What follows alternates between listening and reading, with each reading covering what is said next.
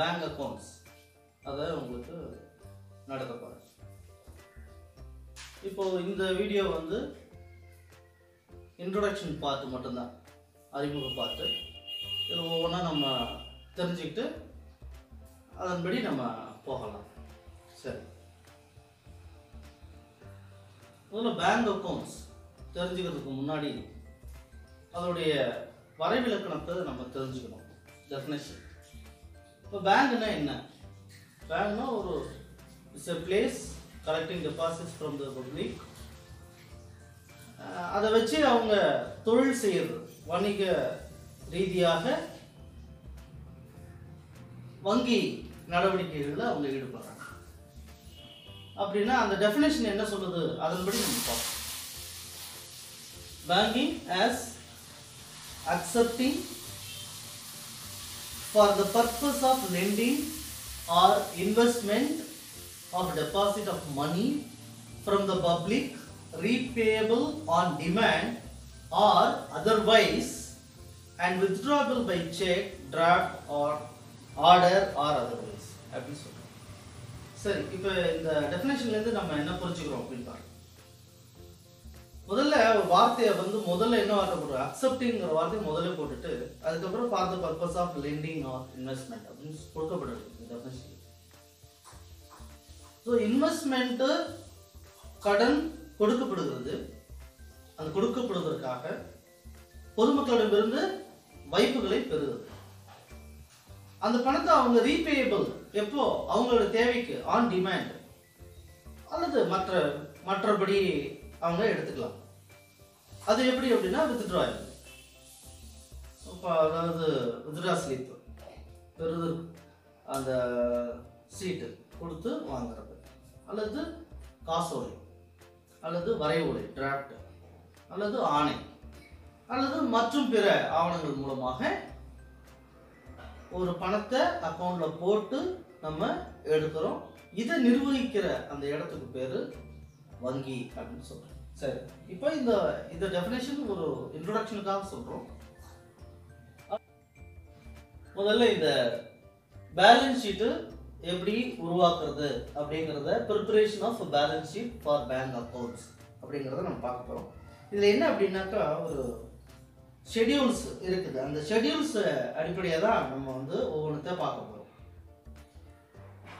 முதல்ல steps to preparing steps to preparation of balance sheet for bank accounts அதில் step ஒன்று என்ன அப்படின்னா preparation of schedules for capital and liabilities அப்படின்னு சொல்கிறோம் preparation of schedules for capital and liabilities இந்த capital and லயபிலிட்டிஸில் என்னென்ன ஷெடியூல் இருக்குது அப்படின்னு பார்த்தீங்கன்னா ஒன்று கேபிட்டல் ரெண்டு ரிசர்வ்ஸ் அண்ட் சர்ப்ளஸ் மூணு டெபாசிட்ஸு நாலு வந்து பாரோயிங்ஸ் அஞ்சு அதர் லயபிலிட்டிஸ் அண்ட் ப்ரொவிஷன்ஸ் இப்படின்ட்டு இந்த முத கேபிட்டல் அண்ட் லைபிலிட்டிஸில் இந்த ஐந்து வகையான ஷெட்யூல்ஸ் இருக்கு. அடுத்தது preparation of schedules for assets அந்த அப்படி அதில் வந்து நம்ம ஒவ்வொரு ஷெடியூலாக பார்க்க போகிறோம் இதுக்கான இந்த ஷெடியூல் நம்பர்ஸ் வரிசை கொடுத்துருக்கோம். இந்த வரிசை கிரமம் வந்து எப்பவும் மாறக்கூடாது. அதே சீக்வன்ஸில் தான் இருக்கணும். இதில் ஃபர்ஸ்ட் வந்து cash and bank balance with RBI அது. அடுத்தது balance with banks and money at call and short notice அப்படிங்கிறது ஏழாவது ஷெடியூலு அடுத்து இன்வெஸ்ட்மெண்ட்டுங்கிறது எட்டாவது ஷெடியூலு அடுத்தது அட்வான்சஸ் ஒன்பதாவது ஷெடியூலு ஃபிக்ஸட் அசட்ஸ் பத்தாவது ஷெடியூலு அப்புறம் அதர் அசெட்ஸ் வந்து பதினோராவது ஷெட்யூல் இது எல்லாமே மேலும் அண்ட் ஆல்சோ டு நம்ம ப்ரிப்பேர் பண்ண வேண்டியது கண்டிஜென்ட் லயபிலிட்டிஸ் அப்படின்னு சொல்லக்கூடியது. அது வந்து பதிமூணாவது ஷெட்யூல் கடைசியாக பில்ஸ் ஃபார் கலெக்ஷன் இதுக்கு வந்து ஷெட்யூல் தனியாக கிடையாது. நோ செப்பரேட் ஷெட்யூலு ஆனால் இதை நம்ம வந்து இதுவும் ப்ரிப்பேர் பண்ணணும். அது வந்து ஷெட்யூல் கூட மட்டும்தான் வராது. ஸோ இதை ஃபஸ்ட்டு நம்ம இதை புரிஞ்சுக்கணும். இந்த இதை வந்து நம்ம ஃபஸ்ட்டு ஸ்டெப் வந்து இதை நம்ம தெரிஞ்சுக்கணும். இப்போ ஒவ்வொன்றா பார்க்குறோம் அப்படின்னா இதெல்லாம் வந்து டீட்டெயில்டாக நான் வந்து அடுத்த வீடியோவில் இது ஒவ்வொரு ஷெட்யூலை பற்றியும் நாம் வந்து கணக்கு போடுறதுக்கு முன்னாடி நான் உங்களுக்கு தெளிவாக சொல்கிறேன் இப்போதைக்கு இந்த எத்தனை ஷெட்யூல் இருக்குங்கிறத மட்டும் நீங்கள் தெரிஞ்சுக்கிட்டா போதும். சரி அடுத்தது. Format of profit and loss account in the bank account அப்படிங்கிறது நம்ம அந்த ஃபார்மேட்டை மட்டும் தெரிஞ்சுக்க போகிறோம் இதில் இந்த ஃபார்மேட்டில் என்னென்ன இருக்கு அப்படின்னு பாத்தீங்கன்னாக்கா மொத்தம் நான்கு வகையான ஹெட்டிங் இருக்கு. ஒன்னு income expenditure profit or loss appropriation அப்போ இதுல நாலு இருக்கு. இப்போ மெயினா நம்ம பார்க்க வேண்டியது என்ன அப்படின்னா இன்கம் அண்ட் எக்ஸ்பெண்டிச்சர் அப்படிங்கிறது தான் நம்ம நம்ம கால்குலேட் பண்ண வேண்டியது. எல்லாமே இதுல தான் இருக்குது. இதுல ஒவ்வொன்றுக்கும் ஷெட்யூல் இருக்குது. ஷெட்யூல் நம்ம அங்க பன்னெண்டோட முடிஞ்சுதான் அடுத்தது பதிமூணு ஸ்டார்ட் ஆகுது. பதிமூணு வந்து இன்ட்ரெஸ்ட் ஏர்ன்டு அது வந்து பதிமூணாவது ஷெடியூல் அதர் இன்கம் அது வந்து பதினாலாவது ஷெடியூல் அடுத்தது எக்ஸ்பெண்டிச்சர்ல வரும்போது இன்ட்ரெஸ்ட் எக்ஸ்பெண்டட் அது வந்து பதினஞ்சு.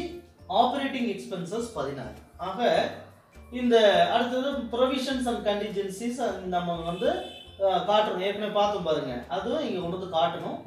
இதோட இந்த profit and loss account format வந்து இவ்வளவுதான். சரி.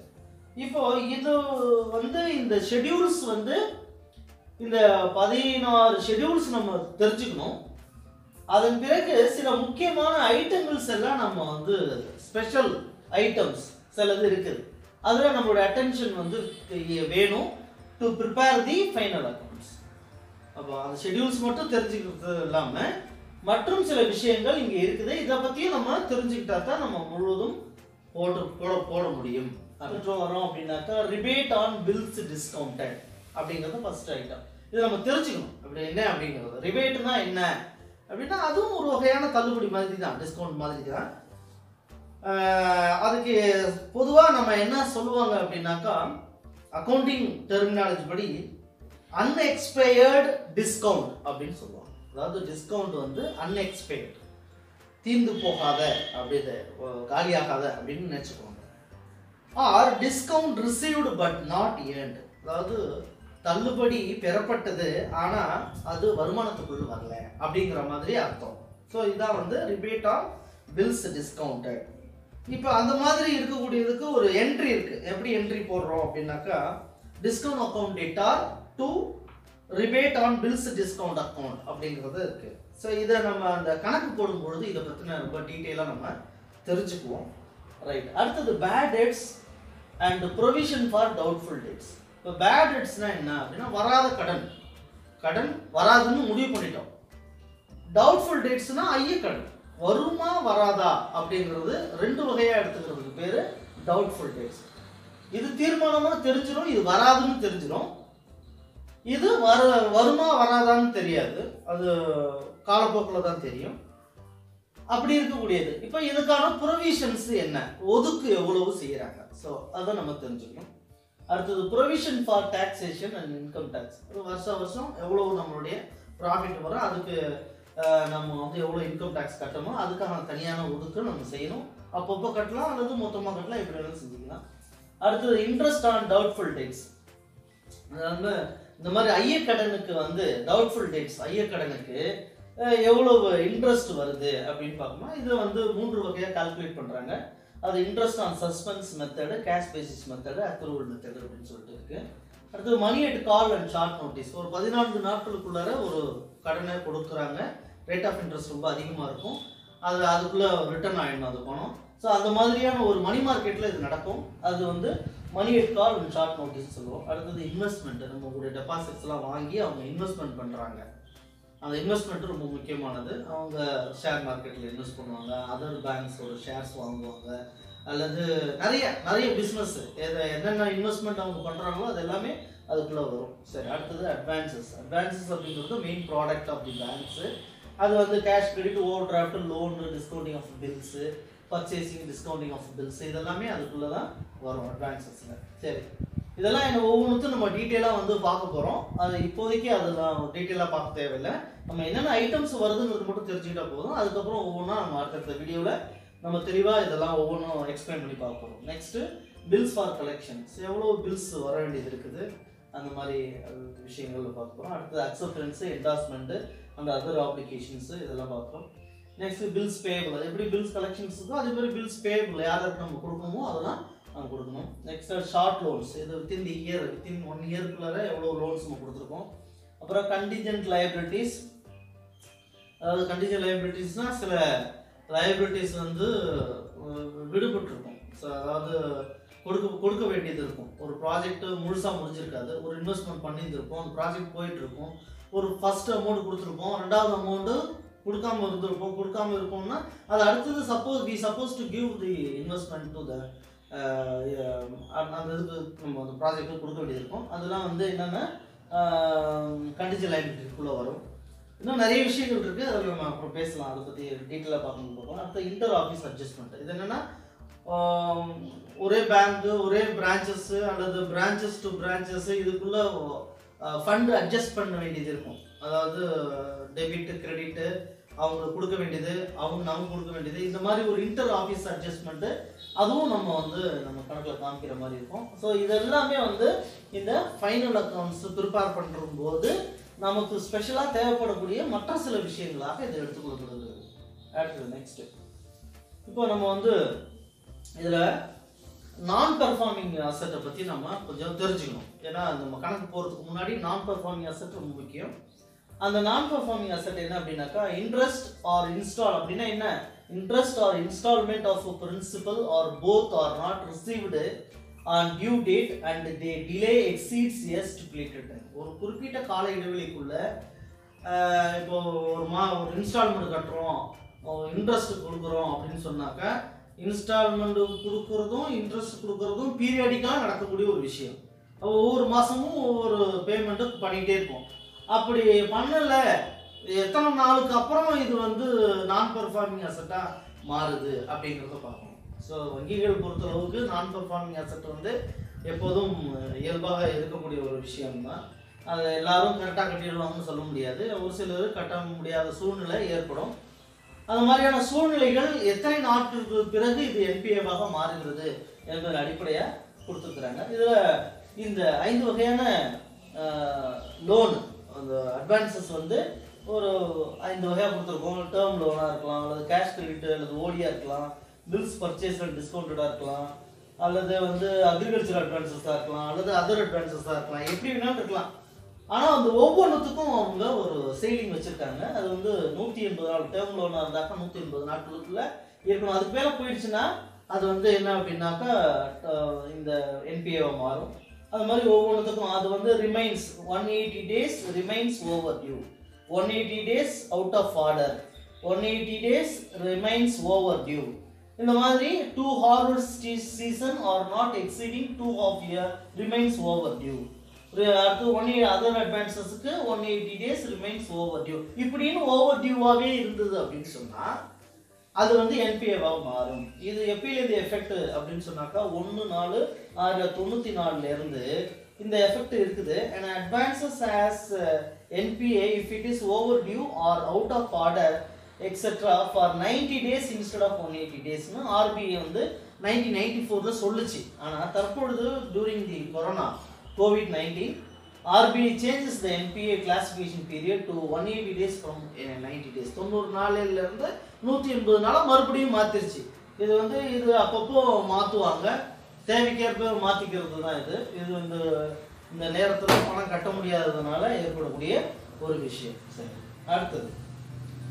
ப்ரொவிஷன்ஸ் ஃபார் என்பிஏ இந்த என்பிஏ வந்து எப்படி ப்ரொவிஷன்ஸ் ஒதுக்குறாங்க அப்படின்னு பார்த்தீங்கன்னா இந்த அசட்டை வந்து நாலு வகையாக பிரிக்கிறோம். ஒன்று வந்து standard asset substandard asset doubtful அசட்டு லாஸ் அசட் அப்படின்னு நாலாக பிரிக்கிறோம். அப்படி பிரிக்கும்போது for purpose of making provisions for NPA different advances of a bank are classified into four categories that categories standard asset substandard asset doubtful assets loss asset அப்படின்னு நாலாக இருக்குது. இதுக்கு எவ்வளோ அனுமதி அப்படின்னு பார்த்தீங்கன்னா points zero point two five percentage அனுமதி. அடுத்தது சப்ஸ்டாண்டர்ட் அசட்டுக்கு பத்து சதவீதம் அனுமதி. அடுத்தது டவுட்ஃபுல் அசட்டுக்கு ஒரு மூணு விதமான கிளாசிஃபிகேஷன் இருக்குது. ரெண்டு ரெண்டு class not covered by realisable hundred percent secured portion of doubtful assets அப்படின்னு ரெண்டு தான் இருக்குது. அதில் ஒவ்வொன்றுக்கும் இயருக்கு அடிப்படையாக வந்து ஒன் இயர்க்குள்ளே தான் இருபது பர்சன்ட் ஒன்றுலேருந்து மூணு வருஷத்துக்குள்ளே தான் முப்பது பர்சன்ட் மூணு வருஷத்துலேருந்து அது மூணு வருஷத்துக்கு மேலே இருந்ததுன்னா ஐம்பது பர்சன்ட் அப்படின்னு சொல்லிட்டு இருக்குது.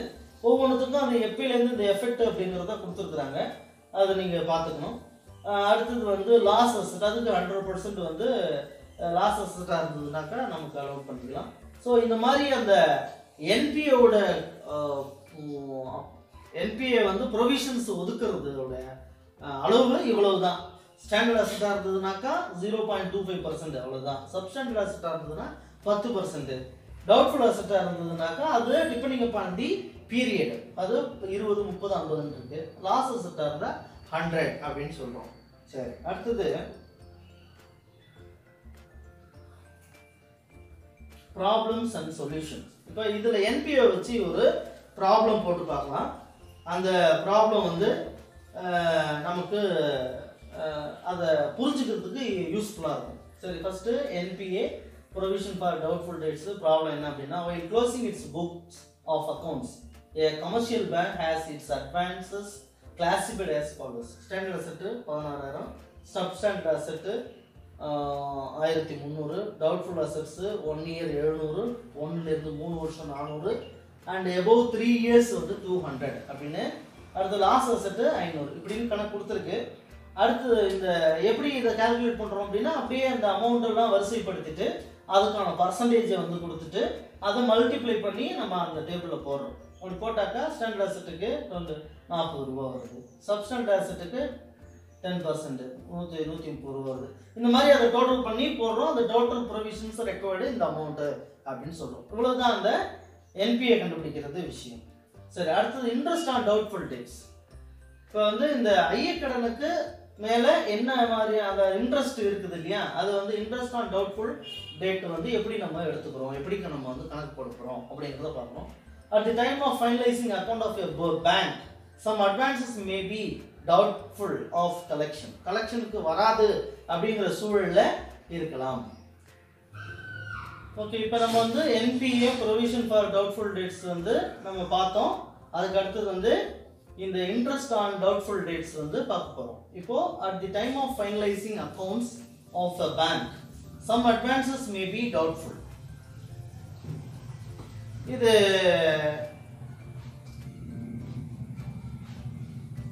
வேணாம் வேணாம் இது கட் பண்ணி தான் ஆகணும். இருக்கட்டும் இருக்கட்டும் அப்படியே இருக்கட்டும் இதோட இதுக்கப்புறம் அப்படியே ஆன் பண்ணிக்கலாம். இதை கட் பண்ணிடுறேன். இன்ட்ரெஸ்ட் ஆன் டவுட்ஃபுல் டேட்ஸ் இது என்ன அப்படின்னாக்கா the time of finalising accounts of a bank some advances may be doubtful of collection என்னென்னா கொடுத்த பணம் சில இதில் வராமல் போயிடும். Interest on such advances cannot be term as income அது வந்து ஒரு இன்கமாக எடுத்துக்க uh, முடியாது. Interest earned by banking company on doubtful debts can be treated in any of the following இதை வந்து எப்படி வேணாலும் எடுத்துக்கலாம். அப்படி எப்படி எடுத்துக்கலாம் அப்படின்னு சொன்னால் ஃபஸ்ட்டு வந்து இன்ட்ரெஸ்ட் சஸ்பென்ஸ் மெத்தடாக எடுத்துக்கலாம். அல்லது கேஷ் பேசிஸாக எடுத்துக்கலாம். அல்லது அக்ரூவல் மெத்தடாக எடுத்துக்கலாம். இப்போ இந்த இன்ட்ரெஸ்ட் சஸ்பென்ஸ் மெத்தடாக இருந்ததுனாக்கா என்ன பண்ணுவோம் அப்படின்னாக்கா interest on doubtful debts is debited from loan account இப்போ வர அந்த ஐயக்கடன் மீது இருக்கக்கூடிய அந்த வட்டியானது என்ன செய்யப்படலாம் அப்படின்னா அந்த கடனில் இருந்து டெபிட் பண்ணப்படும் கழிச்சுக்கலாம். அல்லது அந்த சஸ்பென்ஸ் இன்ட்ரெஸ்ட் சஸ்பென்ஸ் அக்கௌண்ட்ல கூட்டிக்கலாம் கிரெடிட் பண்ணிக்கலாம். So if the interest is received in cash ஒருவேளை இந்த இன்ட்ரெஸ்ட்டை கேஷாக நம்ம வாங்கிக்கிறோம் அப்படின்னா the amount is transferred to interest account இது நேரடியாக அந்த அமௌண்ட்டு இன்ட்ரெஸ்ட் அக்கௌண்ட்டுக்கு மாற்றப்படும்.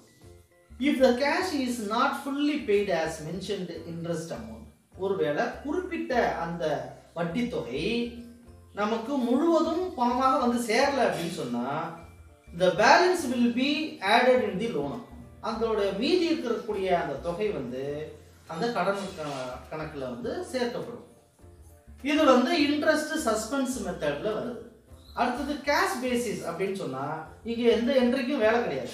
No entry is passed for such interest till it is actually receive so அப்போ வந்து எவ்வளோ பணம் வர வேண்டியது இருக்குது வாங்க வேண்டியது இருக்குது வந்து சேர வேண்டியது இருக்குது அப்படின்னு சொன்னால் அந்த அமௌண்ட் முழுசா பணமாக வந்து சேர்ந்தாதான்.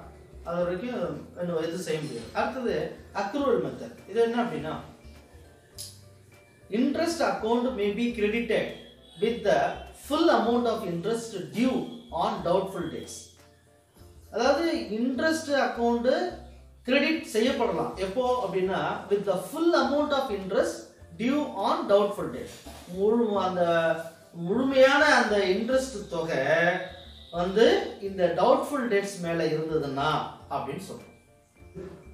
அட் த சேம் டைம் அதாவது சைமில்டேனியஸ்லி அது கூடவே and adequate provision for bad and doubtful debts may be credited. அப்போ அவங்க என்ன பண்ணுறாங்க அப்படின்னா அந்த மாதிரியான சூழலில் அவங்க அந்த பேட் அண்ட் டவுட்ஃபுல் டேட்ஸுக்கு ஒரு ப்ரொவிஷனை கிரியேட் பண்ணி அதில் கொண்டு போய் கிரெடிட் பண்ணிடுறாங்க. இது வந்து அக்ரூவல் மெத்தட் அப்படின்னு சொல்றோம் அடுத்தது இன்ட்ரெஸ்ட் ஆன் டவுட்ஃபுல் டேட்ஸுக்கு ஒரு ப்ராப்ளம் போட்டு பார்த்தோம்னா அதை பற்றி நமக்கு என்னன்னு தெரிஞ்சிடும். இப்போ ப்ராப்ளம் இந்த ப்ராப்ளத்தை நீங்கள் பார்த்துக்குங்க. என்ன அப்படின்னா on thirty first December nine ninety one the loan ledger in the book of bank showed a debit balance of rupees two lakh including rupees forty thousand due from a merchant என்ன அப்படின்னா இந்த நாற்பதாயிரம் ரூபா அவன் ரெண்டு லட்ச ரூபா வாங்கினதுல நாற்பதாயிரம் ரூபா வராமல் போயிடுச்சு. அது வந்து ஐயக்கடனாக மாறுது.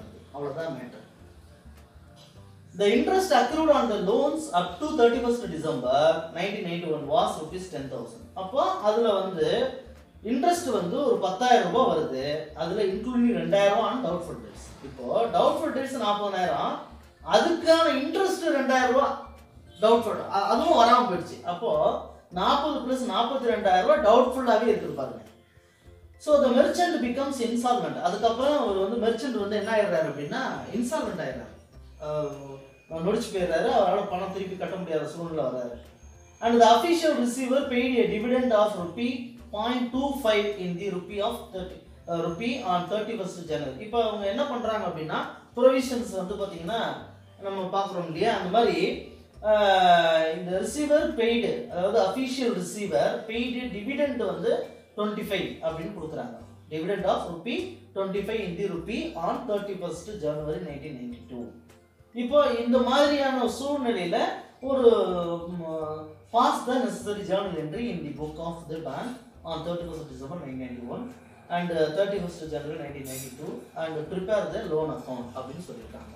ஜேர்னல் அதாவது ஜேர்னல் என்ட்ரிஸ் போடணும் லோன் அக்கௌண்ட்டு கிரியேட் பண்ணி காமிக்கணும். இதுதான் வந்து இந்த இன்ட்ரெஸ்ட் ஆன் டவுட்ஃபுல் டேட்ஸில் ஒரு ப்ராப்ளம் நம்ம பார்க்க போகிறோம் ரைட் இது என்ன இந்த ப்ராப்ளம் எப்படி போடுறதுன்னு பாருங்கள் ஃபஸ்ட்டு வந்து இதை வந்து இன்ட்ரெஸ்ட் சஸ்பென்ஸ் மெத்தடில் தான் நம்ம போட போகிறோம் இது எப்படி அந்த கணக்கு இருக்குன்னு பாருங்க. மெர்ச்சன்ட் லோன் அக்கௌண்ட் அப்படின்னு நம்ம கிரியேட் பண்ணுவோம். இப்போ நம்ம ஃபர்ஸ்ட் ஜேர்னல் என்ட்ரி பார்க்குறோம்னு வச்சுக்கோங்களேன். ஜேர்னல் என்ட்ரி பார்க்குறோம். என்ன அப்படின்னா முதல்ல வந்து மெர்ச்ச நமக்கு வரல. அந்த ரெண்டாயிரம் ரூபா டவுட்ஃபுல் டவுட்ஃபுல்ல வந்து ரெண்டாயிரம் ரூபா இன்ட்ரெஸ்ட் வரல. அப்போ வந்து merchant account data two thousand to interest loan account கிரெடிட்டா two thousand அப்போ லோன் அக்கௌண்ட்ல கொண்டு போய் அந்த வராத அந்த இன்ட்ரெஸ்ட் டவுட்ஃபுல் டேட்ஸில் வராத அந்த இன்ட்ரெஸ்ட்டை கொண்டு போய் இதில் இன்ட்ரெஸ்ட் ஆன் லோன் அக்கௌண்ட்டில் கொண்டு போய் ஆட் பண்ணுறோம் அப்போ ஆட் பண்ணுறது தான் அந்த கிரெடிட் பண்ணுறோம் அப்போ எங்கே இது வருது அப்படின்னாக்கா இது வந்து மர்ச்சன்ட் அக்கௌண்ட் டேட்டா அப்படின்னு சொல்கிறோம் இல்லையா? அவங்க இதில் நம்ம அந்த அவர் கணக்கில் கொண்டு போய் சேர்க்குறோம். ஸோ இதுதான் வந்து இந்த entry being interest on doubtful debts என்னென்னா டவுட்ஃபுல் டேட்ஸ் மேலே இன்ட்ரெஸ்ட் வந்து சார்ஜ் பண்ண அந்த ரெண்டாயிரத்தை இந்த இடத்துல காட்டும். நெக்ஸ்ட்டு அவர் வந்து மொத்தத்தில் மொத்தமாக அவர் கொடுக்க வேண்டியது எவ்வளோ அப்படின்னா நாற்பத்தி ரெண்டாயிரம் கொடுக்கும் இந்த நாற்பத்தி ரெண்டாயிரத்தில் அவர் கேஷ் வந்து பே பண்ணுறாரு எவ்வளோ பே பண்ணுறாரு அப்படின்னா பாயிண்ட் டூ ஃபைவ் அப்படி பண்ணுறாரு ஒரு ரூபாய்க்கு இருபத்தஞ்சி காசு அவர் கொடுக்குறதா. அப்போ ஒரு ரூபாய்க்கு இருபத்தஞ்சி ரூபா இருபத்தஞ்சி காசுனாக்கா நாற்பத்தி ரெண்டாயிரத்துக்கு பத்தாயிரத்தி ஐநூறுரூவா அவர் வந்து பே பண்ணுறாரு கேஷாக வந்து பே பண்ணுறாரு to merchant loan account merchant loan அக்கௌண்ட்டில் நம்ம வந்து இந்த பத்தாயிரத்தி ஐநூறுரூவா வந்து வர வைக்கிறோம். சரி இப்போ வர வச்சுட்டோம் இதுதான் வந்து இந்த நம்ம பண்ணக்கூடிய அவங்க கொடுத்துருக்க டேட்டா மூலமாக நம்ம செய்யக்கூடிய ஜேர்னல் லெட்ரு இது ரெண்டு தான் சரி இப்போதைக்கு. இப்போ இதுக்கான லெட்ஜர் வந்து நம்ம போடுறோம். அந்த லெட்ஜரில் வந்து மெர்ச்சன்ட் லோன் அக்கௌண்ட்டு லோன் அக்கௌண்ட்டில் நம்ம மொத்தத்தில் வந்து ஏற்கனவே அவருக்கு லோன் அக்கௌண்ட் வந்து அதாவது இந்த எவ்வளோ டவுட்ஃபுல் டெட்ஸ் எவ்வளோ இருக்குன்னா நாற்பதனாயிரம் இருக்குது ரெண்டு லட்சம் வாங்கியிருக்காரு. ஆனால் நாற்பதனாயிரம் டவுட்ஃபுல் டெட்ஸாக இருக்குது. அது மேலே வந்து ஒரு ரெண்டாயிரம் ரூபா இன்ட்ரெஸ்ட் வரல. அதனால அந்த இன்ட்ரெஸ்ட் வராததை இன்ட்ரெஸ்ட் சஸ்பென்ஸ் அக்கௌண்ட்ல நம்ம கொண்டு வந்து டெட்டாரில் வைக்கிறோம். ரெண்டாயிரம் ஆக மொத்தத்தில் நாற்பத்தி ரெண்டாயிரம் ரூபா. அப்போ நாற்பத்தி ரெண்டாயிரம் ரூபா வந்து நம்ம வந்து டோட்டல் பண்ணுறோம் டோட்டல் பண்ணி அதை வந்து பை பேலன்ஸ் கேரி டவுன் கொண்டு வரும். அதை ப்ராட் டவுனுக்கு அடுத்த வருஷத்துக்கு கொண்டு வரும். இப்போ நைன்டீன் நைன்டி டூவுக்கு வந்து இந்த அமௌண்ட்டு கொண்டு வரோம் அப்போ நாற்பத்தி ரெண்டாயிரரூவா நைன்டி டூவில் வந்து அவர் அவர் மேலே இருக்குது. அந்த நாற்பத்தி ரெண்டாயிரம் ரூபா இருக்குது. சரி இப்போ நாற்பத்தி ரெண்டாயிரத்தில் அவர் எவ்வளோ பே பண்ணியிருக்காரு அப்படின்னு பார்த்தா அவர் கொடுத்த பணம் பத்தாயிரத்தி ஐநூறுரூவா கொடுத்துருக்காரு. சரியா? அப்போ பத்தாயிரத்தி ஐநூறுரூவா அப்போ அவருக்கு அந்த இன்ட்ரெஸ்ட்னு பார்த்தோம்னாக்கா பத்தாயிரம் கொடுக்கணும். இன்ட்ரெஸ்ட்னு பார்த்தா அவர் பத்தாயிரம் கொடுக்கணும். ப- பத்தாயிரத்தி ஐநூறுரூவா நமக்கு கேஷாக வந்திருக்குது. ஆக மொத்தத்தில் அப்போ இன்ட்ரெஸ்ட் சஸ்பென்ஸ் அக்கௌண்ட்டு நமக்கு நாம் எவ்வளோ வச்சோம் அப்படின்னா ரெண்டாயிரம் ரூபா தான் வச்சோம். இந்த இன்ட்ரெஸ்ட் சஸ்பென்ஸ் அக்கௌண்ட் ரெண்டாயிரம் ரூபா வச்சோம். ஆனால் ஆக்சுவலாக இன்ட்ரெஸ்ட் சஸ்பென்ஸ் எவ்வளோ இருக்குது அப்படின்னா அதில் பத்தாயிரத்தி ஐநூறுரூவா கேஷாக வந்துருச்சு. மீதி பணம் அதை வந்து ஆயிரத்தி ஐநூறுரூவா இன்ட்ரெஸ்ட் சஸ்பென்ஸாக காமிக்கிறோம். சரி மீதி அப்போ எவ்வளோ அமௌண்ட்டு இருக்குது அப்படின்னா பேலன்ஸு முப்பதனாயிரம் ரூபா இருக்குது இப்போ போன வருஷத்தில் அவர் நாற்பதனாயிரம் ரூபா பேலன்ஸ் இருந்தது. இப்போ இந்த வருஷத்தில் தொண்ணூற்றி ரெண்டில் வந்து முப்பதனாயிரம் ரூபாய் இருக்குது ஸோ இதுதான் அந்த கணக்கில் பார்க்குறோம். சரி நெக்ஸ்ட்டு இன்ட்ரெஸ்ட் சஸ்பென்ஸ் அக்கௌண்ட்டை நம்ம லெஜர் போடுறோம். எப்படி போடுறோம் அப்படின்னு பாருங்க. அதே அந்த ஜேர்னல் என்ட்ரி தான். இன்ட்ரெஸ்ட் சஸ்பென்ஸ் அக்கௌண்ட் ரெண்டாயிரம். அதில் அந்த கேஷாக வந்த அந்த அமௌண்ட்டை அதோட அக்கௌண்ட்டில் கொண்டு போய் வைக்கிறோம்.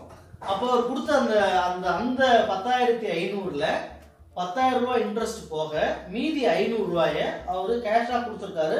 அதை அவருடைய இன்ட்ரெஸ்ட் அக்கௌண்ட்டில் கொண்டு போய் ஐநூறுரூவாயை கிரெடிட் பண்ணிடுறோம். அப்புறம் மீதி அந்த ஆயிரத்தி ஐநூறுரூவாயை அவருடைய லோன் அக்கௌண்ட்டில் மெர்ச்சன்ட் லோன் அக்கௌண்ட்டில் நம்ம வைக்கிறோம். ஸோ இதுதான் வந்து இன்ட்ரெஸ்ட் சஸ்பென்ஸ் அக்கௌண்ட் ரெண்டாயிரமா? அதை நம்ம இப்படி பிரித்து காட்டுறோம். ஸோ இப்போ இது இப்போதைக்கு அவருடைய பேட் ஹெட்ஸ் எவ்வளோ இருக்குது முப்பதனாயிரம் இருக்குது அதை டூ மெர்ச்சன்ட் லேன் அக்கௌண்ட் கிரெடிட்டரில் கொண்டு போய் வைக்கிறோம். So this is what the இது அமௌண்ட்டு இந்த இடத்துல இது தேவையில்லை. சரி. ஸோ இது இன்ட்ரெஸ்ட் ஆன் டவுட்ஃபுல் டேட்ஸ் நம்ம பார்த்துட்டோம். Next rebate on bills discount rebate அப்படின்னா என்ன அப்படின்னு பார்க்கணும். ரிபேட் வந்து ஒரு வகையான தள்ளுபடி. தள்ளுபடி unexpired discount or discount receive but not earned அப்படின்னு சொல்லுவாங்க.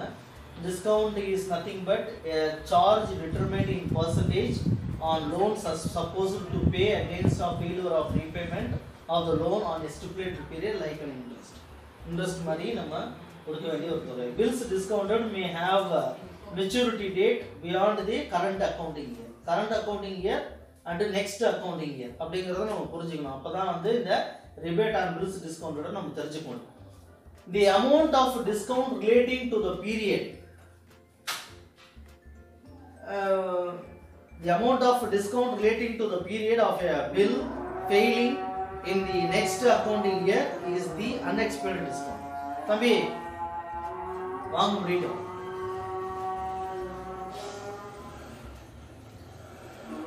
ஏற்கனவே வீடியோ சரி மாணவர்களே நம்ம இந்த வகுப்புல ஃபைனல் அக்கௌண்ட்ஸுக்கு முக்கியமான சில ஐட்டங்களை பார்த்தோம். அடுத்தது வந்து நான் பர்ஃபார்மிங் அசெட்டில் என்ன செய்யணும் என்னென்ன நம்பர் ஆஃப் டேஸில் எவ்வளோ இருக்குது சீலிங் பார்த்தோம். அடுத்தது அதோட ப்ரொவிஷன்ஸ் எவ்வளோன்னு பார்த்தோம். அடுத்தது அதோட ஒரு ப்ராப்ளம் போட்டு பார்த்தோம். அதோட சொல்யூஷனு அப்புறம் இன்ட்ரெஸ்ட் ஆன் டவுட்ஃபுல் டேட்ஸ் பார்த்தோம். அடுத்தது வந்து இன்ட்ரெஸ்ட் ஆன் டவுட்ஃபுல் டேட்ஸில் ஒரு ப்ராப்ளம் சால்வ் பண்ணி பார்த்தோம். இந்த இத்துடன் இந்த வீடியோவில் நம்ம இது தெரிஞ்சுக்கிறோம் அடுத்த வீடியோவில் நாம் ரிபேட் ஆன் பில்ஸ் டிஸ்கவுண்ட்டை பார்க்கலாம். நன்றி வணக்கம்.